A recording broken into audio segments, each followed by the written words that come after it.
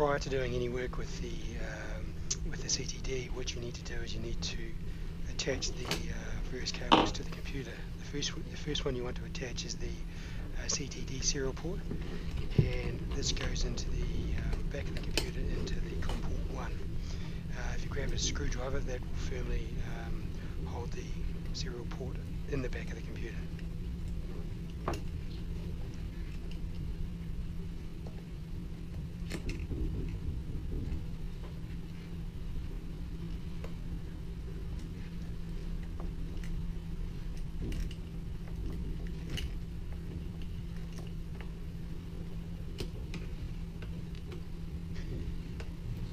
After you've um, fixed the CTD cable, uh, the next thing you do is you to grab the uh, serial to USB converter that carries the navigation data.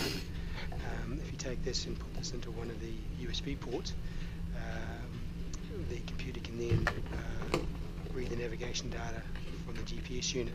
Uh, the best thing is to put it into the same USB port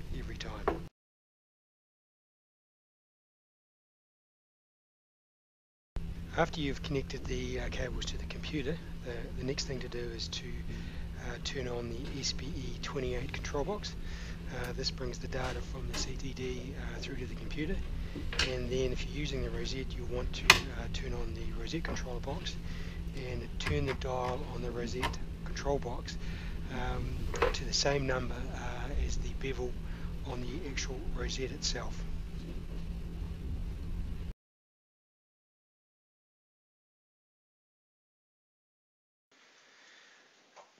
Many computers today come without uh, COM ports and you need to use a serial to uh, USB converter to be able to, to connect some instruments uh, to the computer. So today what I'm going to show you is how to find out the uh, COM port number that is issued to the to the converter by the computer.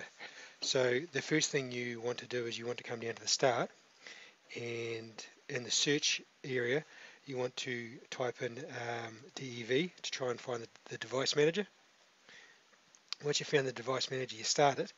And if you come down to the um, to the ports tab uh, down the bottom here um, and have a look down here you can see that in this case we have a prolific USB, USB to serial um, converter and it has been issued uh, the number for the COM port 2 so if you want to um, uh, for instance with Seabird uh, you would need to use COM port 2 um, to uh, find the navigation data.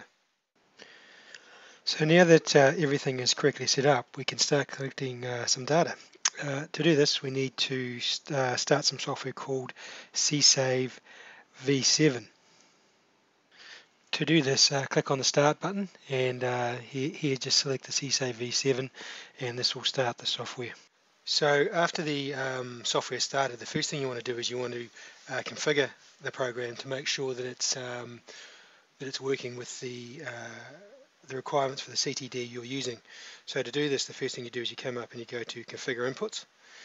And uh, today we, we're going to be using the, the university's SBE25. So what we need to do is we need to make sure that we're using the correct configuration file. The configuration file we have here at the moment is for uh, one, of the, one of our SBE19s. So what we need to do is we need to change that um, to make sure that we're using the SBE25 configuration file. To do that, we uh, come up to Open, and there's a folder on the, on the uh, CTD computer that has uh, all the configuration files in it. Um, so today we're going to be, as I say, using the SBE25 and we're going to be using the SPE25 um, with the navigation option. So what this allows us to do is this, this allows us to record navigation data in the um, in the header and also in the file uh, of the um, computer of the file that's saved onto the computer. Um, so we'll, we'll, select that one and we'll uh, go open and you can see here that this has now changed the um, uh, the configuration file to the um, to that for the SBE 25.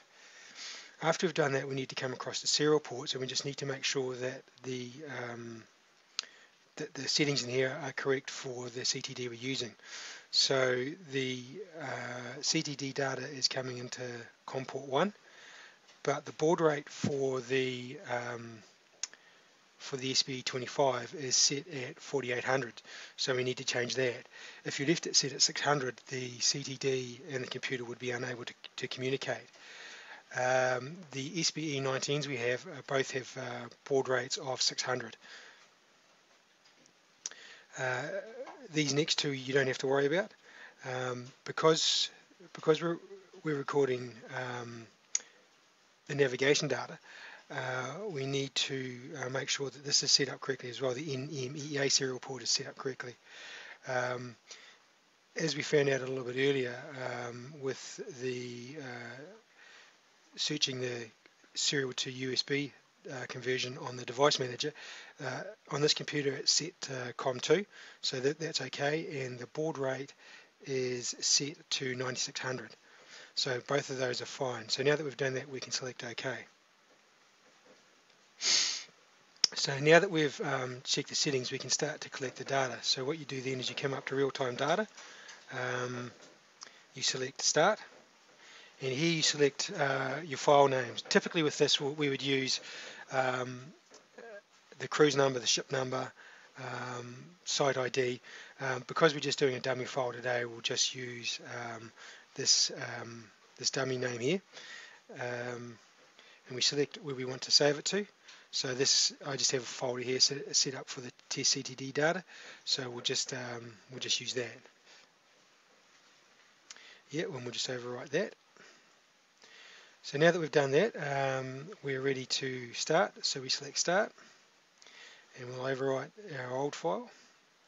And here you can put in uh, cruise ID and uh, vessel ID and, and, and the site ID and any notes you want, um, and this will come up on the header of the uh, of the hex file.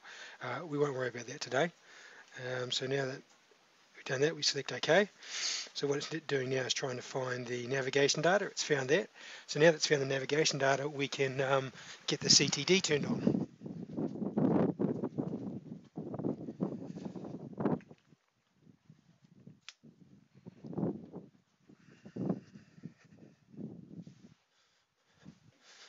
And once the CTD is turned on, um, that um, that box will go away and you'll start to see a flashing yellow light um, on the SBE28 box um, and that tells you that data is coming in and we'll also get some um, data uh, on the screen here like we have.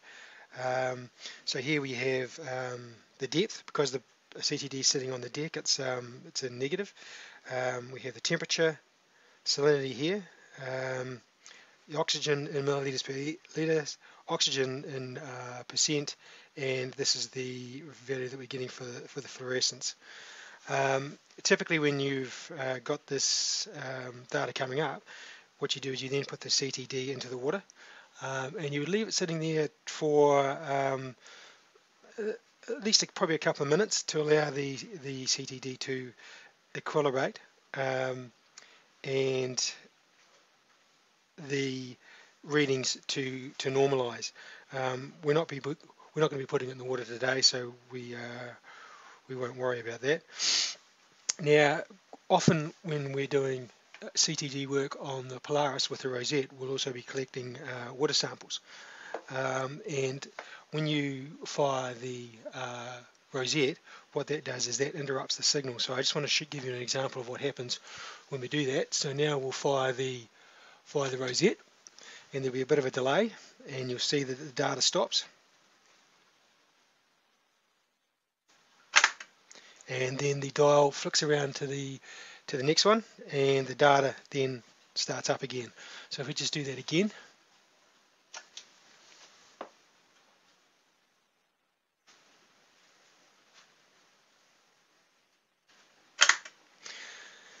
Sometimes what you'll see here also is that the um, the, little box come up saying that the signal has been interrupted just um, um, after you've gone through the process of firing the rosette just click OK and the data will start clicking again so once you've uh, finished your cast and the CTD is back on the deck uh, go back up to um, real-time data and uh, select stop to stop the CTD collecting the data. Uh, also get someone who's on the deck to turn the CTD off uh, so the batteries on the uh, CTD don't go flat. Um, so that's all for today. Um, thanks very much. Uh, have a good day.